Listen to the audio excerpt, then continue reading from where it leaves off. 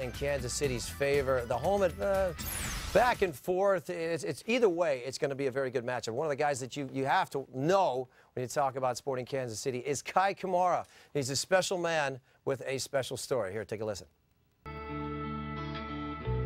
Kei Kamara was six when Sierra Leone's bloody civil war ripped apart his life. I was in school. We heard this explosion, and then everybody just ran out. I went running through a, a little road, and people started falling. A couple of guys started falling, and then they're stepping on people. We were hunted. It was like, okay, we're not safe anymore. Everybody was looking for a way to get out. After nine years of running, Kei finally reunited with his mother in the United States.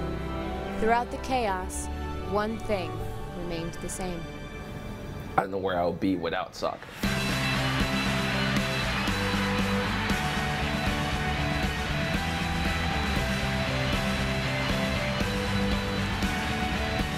I'm the only player playing in MLS that's been back here to play with the national team. I play for Sporting Kansas City, where they really take care of us. And, uh, and I come home, and uh, just got to change my mentality and just be ready for it. As Sierra Leone rebuilds, so too do the Leone Stars. It's a long process, riddled with setbacks and challenges. Other teams came here and they say, yeah, you guys can be so much better if your field was good. That's our advantage, you know. We, we get to use the, the worst fields against you guys. Traveling, we might go four, five, six other places before we get to our destination. I lived in Africa before, I never slept in a hut. And now I'm traveling my national team and I slept in a hut. So guys on my teams usually play for the U.S. and they're like, why didn't you play for the U.S.? I go, I don't know, I just want that feeling to wear green, white, and blue. Stadium, how crazy the fans go, I want to feel that.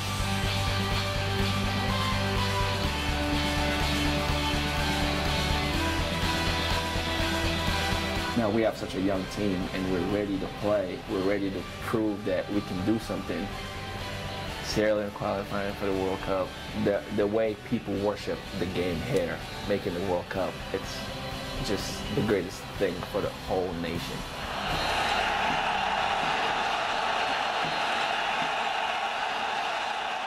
Now, you all know the player, and now we get to learn a little bit about the person. It's kind of hard not to root for the guy. You see his stats on the year nine goals, four assists, 91 shots, 29 of those on goal. Now, both of you guys know him fairly well. I mean, tell me a little bit more about him. He's my teammate for a few years, and I know he bounced around. He started in Columbus, then went to San Jose, and then Houston. But I think he's really found a home here in Kansas City.